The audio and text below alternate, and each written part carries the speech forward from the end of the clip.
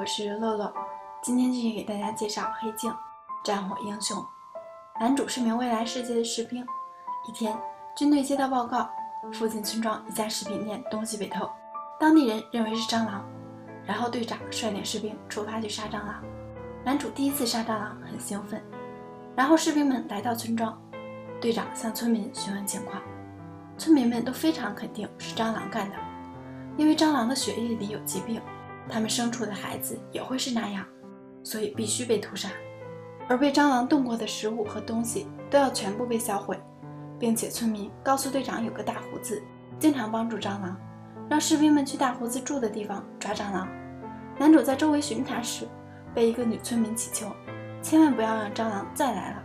这个女人看起来很害怕蟑螂。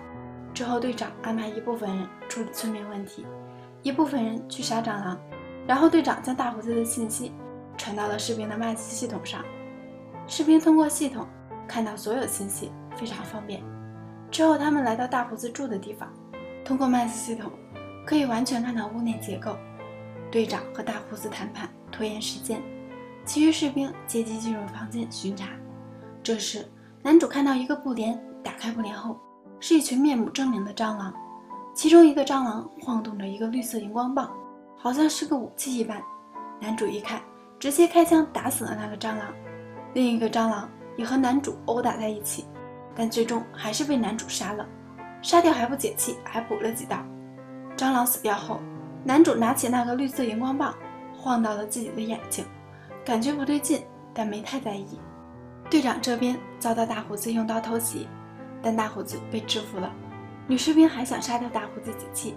因为他才会有那么多蟑螂活着，但被男主阻拦了。因为大胡子是平民，不能滥杀无辜。然后他们烧掉了这里，准备回基地。男主第一次出来就杀掉了两个蟑螂，被众人夸赞。男主也很开心。晚上梦到和自己女友做羞羞的事。男主每晚都会做这样的梦，做梦时手会不自觉地抖动。第二天，男主总感觉不对劲，麦斯系统好像有些问题。然后来到医务室检查了一番，经过诊断，男主一切正常，男主的麦斯系统也没有出现异常。医生觉得可能是战争留下的副作用。男主向医生提到荧光棒的事，医生建议男主去找眼镜男聊聊。然后男主向眼镜男说了事情的经过。男主形容杀蟑螂的时候满是骄傲的神情，眼镜男则询问男主如果再遇到蟑螂是否还会去杀。男主表示肯定还会杀的，但总感觉麦斯系统出了问题，可以不清楚是什么问题。然后眼镜男告诉男主：“你做了一件大事，应该感到自豪。你晚上应该好好睡一觉。”到晚上，男主又梦到了女友，但梦到一半卡了。男主突然惊醒，看到其他的士兵手也会像男主做春梦时一样在抖动。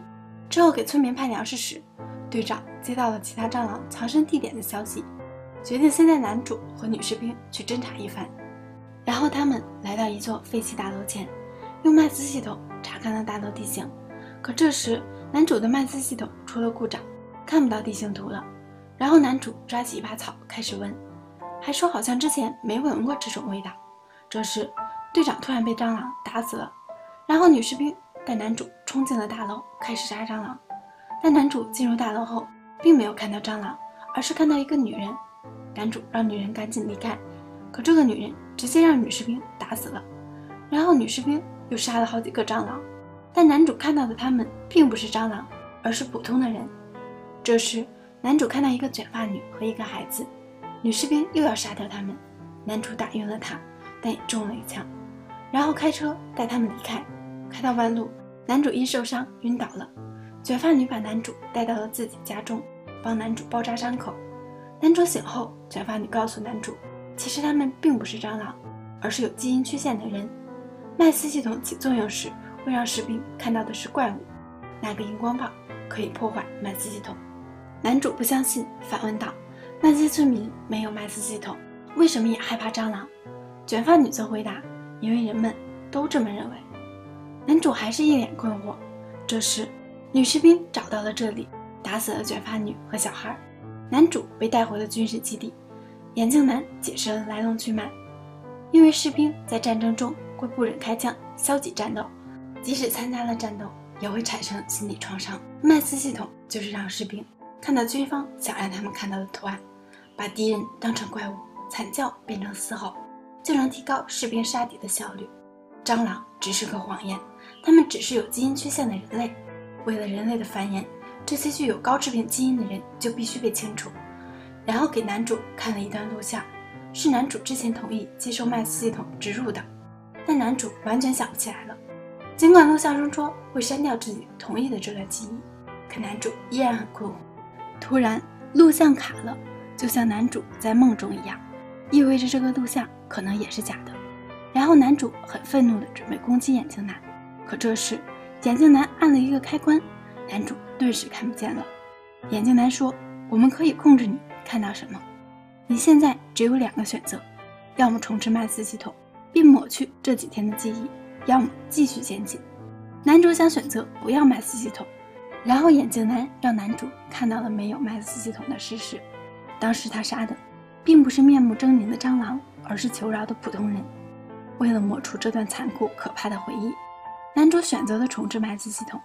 之后，男主升职回乡见女友，他看到温馨的家。女友出来迎接，一切如此美好。可事实上，他的面前只是一栋空无一人的破房子。在我看来，比起士兵的杀戮，更可怕的是村民的认同。当大多数认为那是真理时，少数人的意见就会成为异类，会被孤立。可随波逐流并不需要胆量，勇气和智慧在于我们愿意与众不同。好啦，今天就讲到这里。如果喜欢我的解说，记得关注哦。